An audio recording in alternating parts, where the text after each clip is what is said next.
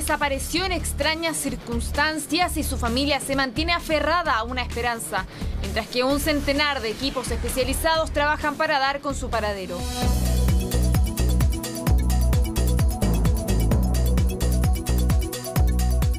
El relato de su tío abuelo de cómo el menor quedó solo ya es conocido, pero ¿qué pasó en ese periodo de tiempo? Yo sé que mi hijo está vivo. Yo sé que algo lo tiene y esa es la esperanza. Desde el primer día, Estefanía Gutiérrez, la madre de Tomás, ha asegurado que el menor fue secuestrado, cerrándose a la posibilidad de que el niño se encuentre en el bosque. Sin embargo, los equipos de trabajo acotaron el radio de búsqueda, concentrándose en algunos lugares de interés. Yo creo que esto pudo haber sido planeado, pero sí pienso que pudo ser planeado, que a nosotros lo vigilaba alguien porque pasaba de repente vehículos mirando. Mi hijito siempre estaba jugando ahí en el patio. La desaparición de Tomás es un caso complejo. Por ese motivo, la carpeta investigativa ha sido decretada como reservada por un plazo de 40 días. Una de las líneas que podrían ser investigadas es la planificación de un secuestro. Sí se vio a una, una, camioneta ploma rondar por el lugar según los vecinos días antes y que se quedaba en ese cerro ahí. Era un auto, auto plomo. Y una Mitsubishi que también era roja, que, que también fue como sospechosa en ese día un caballero dijo que la había visto ahí con, un niñito. ¿Y, ese autoplomo, eh, quién iba adentro? ¿Una pareja? ¿Ahí donde iba una pareja? No, no, no, no me han dicho bien. ¿Y, ¿Y, ese autoplomo se paseaba despacio, mirándose?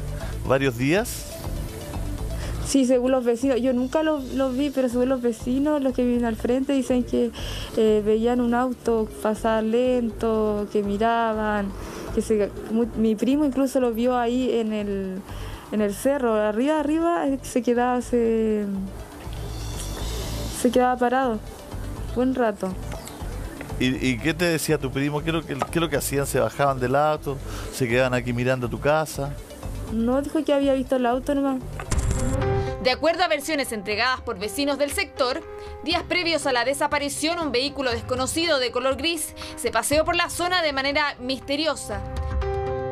Caminar aquí, que está tan cerca la carretera, como alguien no lo iba a ver, los vecinos aquí al lado, el otro lado, hay casas por ambos lados que, no, iban, a ver al niño que andaba caminando. Entonces yo creo que aquí hay un puzzle, pero un puzzle muy chiquitito. No, yo creo que mejor se haya salido a la carretera, se la hayan, la hayan tomado ese niño. Iba. Era, por sospecha me dijeron a mí que es un auto blanco. Pero no sé, pasan tantos vehículos blancos y ya ni tanto que son, tienen gente que tiene auto blanco. Eh, pero el comentario que anda de que una alternativa, una especulación, que no, no nada concreto, que se hace hoy día, todo esto es especular. La ruta P40 concentra un alto flujo de tránsito de vehículos. Este camino es una alternativa a la ruta 160 y acorta el trayecto en 50 kilómetros para los usuarios que circulen entre Arauco y Lebu. Es en esta conexión que el pequeño pudo ser divisado por automovilistas. ¿Quién tiene a Tomás? La verdad es que la cantidad de casos que se verifican por año no supera la veintena y por lo general están vinculados al secuestro de personas adultas y no de menores de edad. Tampoco la familia ha dado cuenta de que haya, eh, se le haya formulado alguna exigencia de carácter económico. Para Estefanía y su familia, el pequeño podría ser una de las excepciones.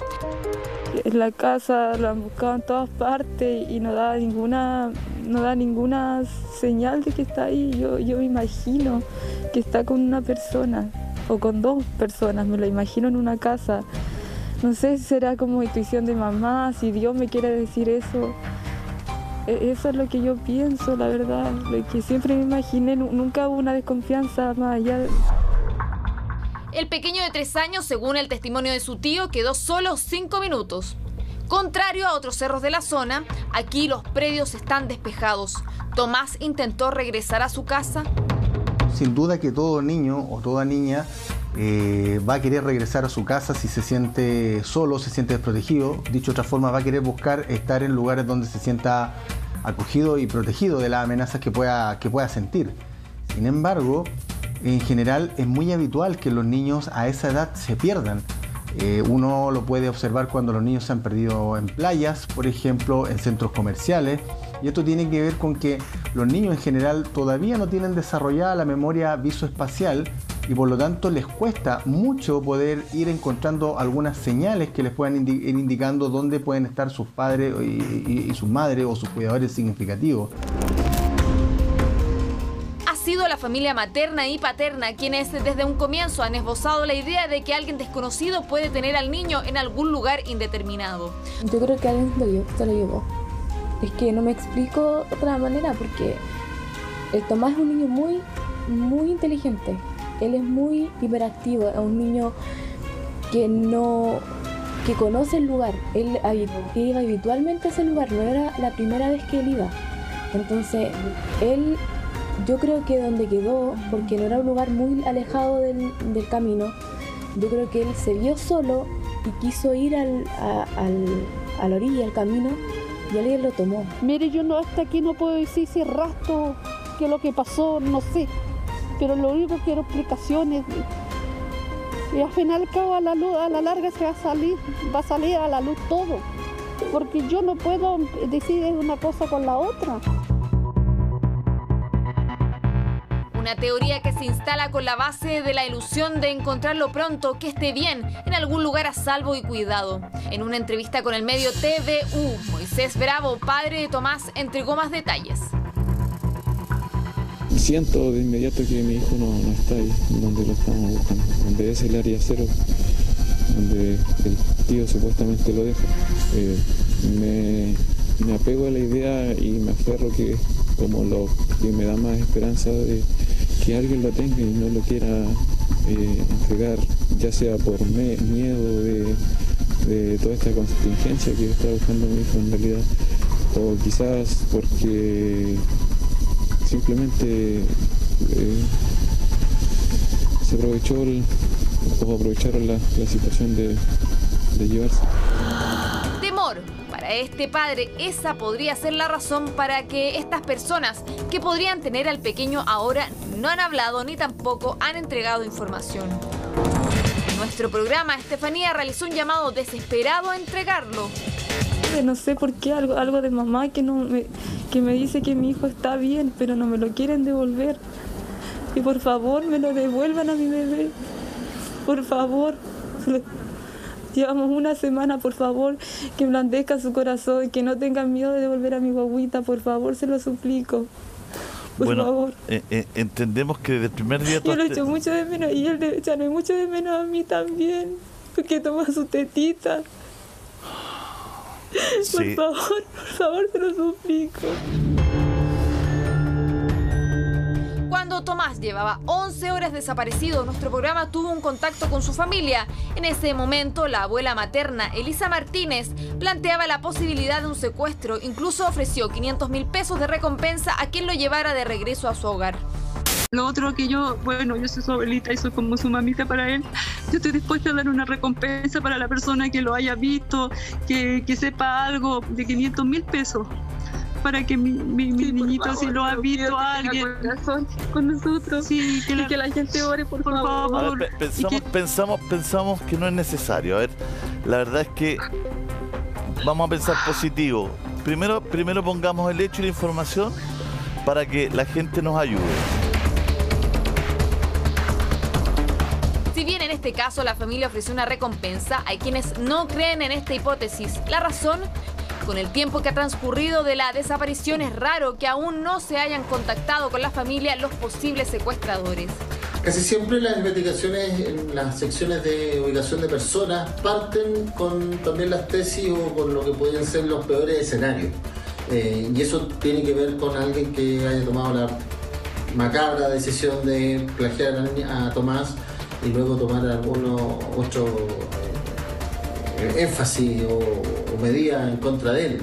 Pero evidentemente eso es algo que va a tener que despejar la Fiscalía. Si es una desaparición forzada por la acción de un tercero, desconocido o no, hoy día yo creo que es la hipótesis que toma una mayor fuerza, porque ha pasado tanto tiempo, los, los brigadistas, las personas que gentilmente han querido ayudar en la colaboración para poder buscar y rastrear en el lugar, ya no han tenido ningún resultado positivo.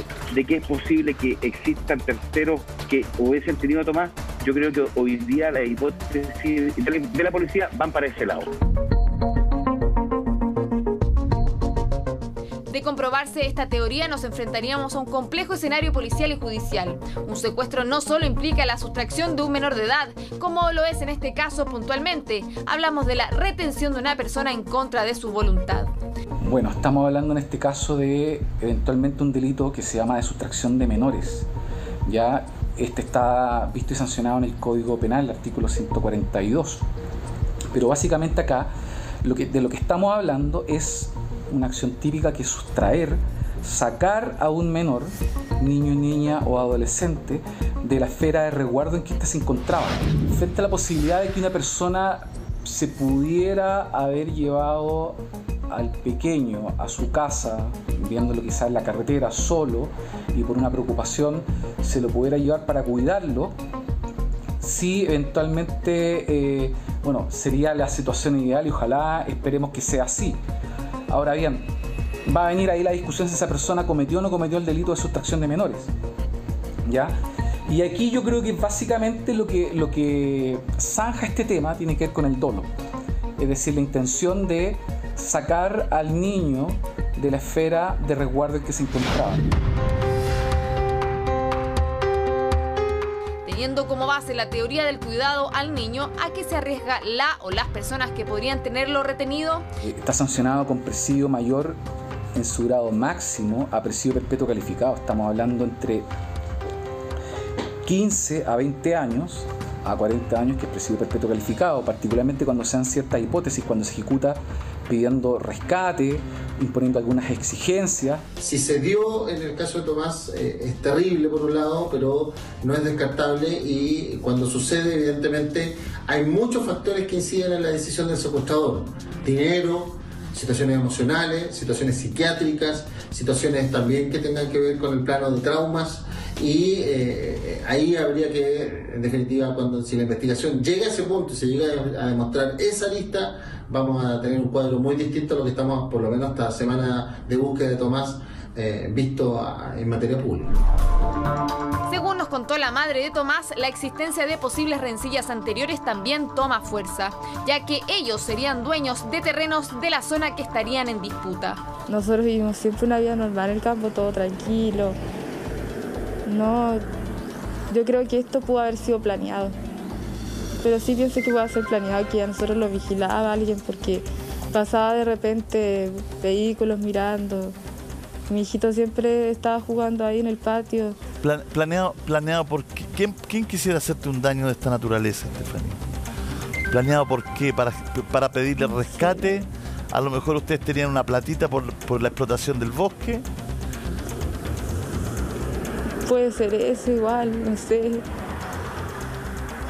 Tengo tantas especulaciones en mi mente. a lo mejor alguien lo pilló en el camino, desorientado, mi hijito, y, y se lo llevaron quizás para calmarle, fue lo que querían entregar y, vieron que todo esto llegó y tienen miedo de entregarlo, pero por favor les digo que por favor devuelvan a mi bebito, por favor, acá lo estamos esperando todos. Él es muy regalón, muy, muy, muy consentido. Según los antecedentes y las características de esta desaparición, ¿estaríamos frente a un secuestro? Hasta el minuto de la información pública que sabemos no hay datos de una persona que haya eh, plagiado, tomado a Tomás, pero no es descartable también tenerlo eso dentro de la investigación de la Fiscalía.